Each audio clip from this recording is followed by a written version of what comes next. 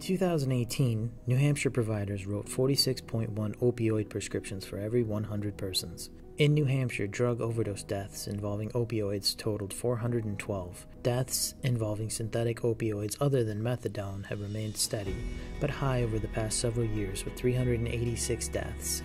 This makes New Hampshire third in the U.S. in opioid involved overdose deaths per 100,000 persons.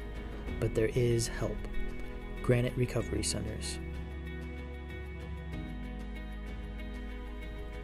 If you or a loved one you know are having problems with addictions, please call Granite Recovery Centers today at 1 866 613 5980 or visit us online at www.graniterecoverycenters.com.